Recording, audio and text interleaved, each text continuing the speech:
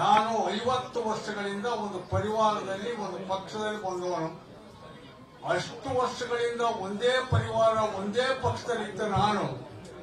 ಈಗ ಈ ತರದ ಒಂದು ತೀರ್ಮಾನವನ್ನ ಗಂಭೀರವಾಗಿ ತಗೊಂಡಿದ್ದೀನಿ ಅರ್ಥ ಅಲ್ಲಿಗೆ ನಾವು ಅರ್ಥ ಮಾಡ್ಕೋಬೇಕು.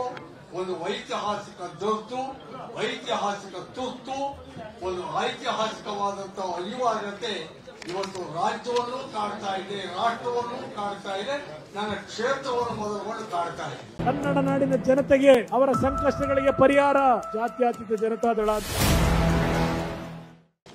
ಆ ಕಾರಣಕ್ಕೆ ಆಯಾಯ ಕಾಲಘಟ್ಟಗಳಲ್ಲಿ ರಾಜಕೀಯವಾದಂತಹ ಹೊಸ ಆಯಾಮಗಳ ದೃಷ್ಟಿಯಲ್ಲಿ ನಮ್ಮ ಶತ್ರು ಯಾರು ಅನ್ನೋದನ್ನ ಮೊದಲಿಗೆ ಗುರುತಿಸಿಕೊಂಡು ಅದಕ್ಕೆ ಸಂಘಟಿತ ಕ್ರೋಢೀಕೃತವಾದಂತಹ ಹೋರಾಟ ನಡೆಸಬೇಕಾದ್ದು ಐತಿಹಾಸಿಕ ಅನಿವಾರ್ಯತೆ.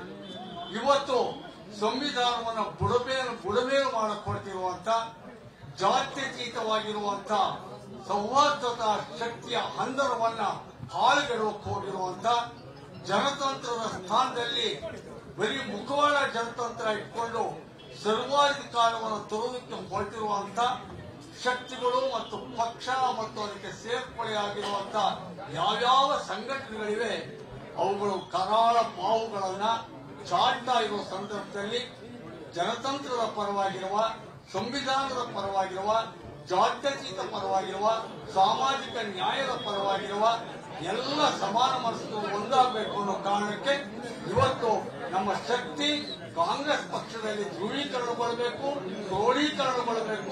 ಅದರ ಮೂಲಕ ಸರ್ವಾಧಿಕಾರಿ ಶಕ್ತಿಗಳಿಗೆ ಸೋಲಾಗಲಿ ಅಂತ ಹೇಳಿ ನಾನು ಬಹಳ ನಿರ್ಮಲವಾದ ಮನಸ್ಸಿನಿಂದ ನಿರ್ವಿಕಾರವಾದಂತಹ ಚಿಂತನೆಯಿಂದ ಯಾವುದೇ ಷರತ್ತುಗಳಿರದೆ ನನಗೆ ಸಮಾನ ಮನಸ್ಕ ಪಕ್ಷ ನನ್ನ ಸೈದ್ಧಾಂತಿಕ ಮತದಿಂದ ನಾನು ಎಡಪಂಥೀಯನಾಗಿ ಬಂದವನು ಹಾಗಾಗಿ ಆ ಕಾರಣಕ್ಕೆ ನನಗೆ ಹತ್ತಿರ ಆತ್ಮೀಯ ಅಂತ ಹೇಳಿ ಕಾಂಗ್ರೆಸ್ ಪಕ್ಷವನ್ನು ನಾನು ಸೇರ್ತಾ ಇದ್ದೀನಿ.